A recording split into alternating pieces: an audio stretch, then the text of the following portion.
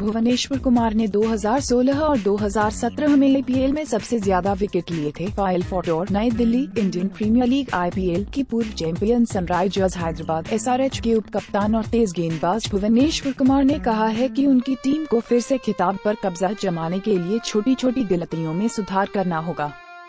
भुवनेश्वर ने एक इंटरव्यू में कहा, हमारा उद्देश्य फिर से चैंपियन बनना है, लेकिन हमें पता है कि यह आसान नहीं रहने वाला है क्योंकि अन्य बाकी टीमें भी काफ़ी मज़बूत हैं।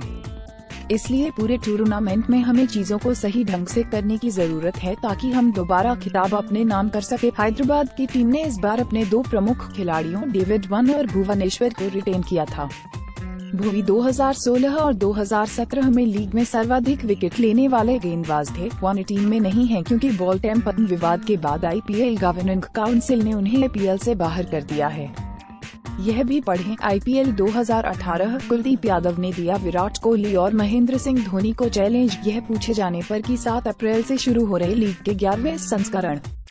के लिए उनके पास कोई खास रणनीति है। उन्होंने कहा कि अभी उनके पास कोई योजना नहीं है, लेकिन मुकाबले शुरू होने से पहले कुछ अलग रणनीति तय की जाएगी।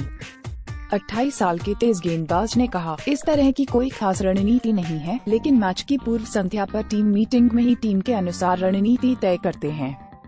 मैच शुरू होने में अभी एक सप्ताह का समय बचा हुआ है और उससे पहले ही हम कुछ नया करने जा रहे हैं। गेंदबाजी विभाग में हैदराबाद के पास भुवनेश्वर के अलावा और कोई दूसरा अनुभवी गेंदबाज नहीं है जो उनका साथ दे सके।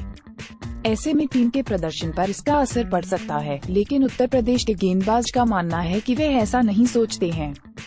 भुवनेश्वर ने कहा गेंदबाजी विभाग में हमारे पास राशिद खान और सिद्धार्थ कौल हैं, जिन्होंने पिछले संस्करण में काफ़ी अच्छे प्रदर्शन किए थे। इसके अलावा और भी कई नए युवा चेहरे हैं, इसलिए हमारे पास एक संतुलित गेंदबाजी आक्रमण है। मुझे नहीं लगता है कि अनुभव की कमी का असर टीम के प्रदर्शन पर पड़ने वाला है, उन्होंने कहा। अनुभव का मतलब यह नहीं कि आपके पास अंतर्राष्ट्रीय क्रिकेट का अनुभव नहीं है। टीम में कई ऐसे खिलाड़ी हैं, जो चार या पाँच आईपीएल खेल चुके हैं। इसलिए अनुभव से ज़्यादा खिताब जीतना अहम है। वीडियो, आईपीएल नीलमी में सबसे महँगे बिके Ben Stokes. Swing master Bhuvneshwar का मानना है कि इंडियन प्रीमियर लीग भारत को कई तेज गेंदबाज दे सकती है। उन्होंने कहा कि 1990 के दशक में टीम में केवल एक या दो तेज गेंदबाज हुआ करते थे, लेकिन मौजूदा समय में भारत के पास उमेश यादव, मोहम्मद शमी और जसप्रीत बुमराह के रूप में कई तेज गेंदबाज हैं। उन्होंने कहा, इसका सही कारण जानना मुश्किल है, लेकिन यदि हमारे घरेलू टूर्नामेंट देखे तो यह बहुत अच्छा है। आईपीएल पिछले दस वर्षों से चला आ रहा है। यहाँ कई अच्छे कोच भी हैं, इसका श्रेय आईपीएल को ही जाता है।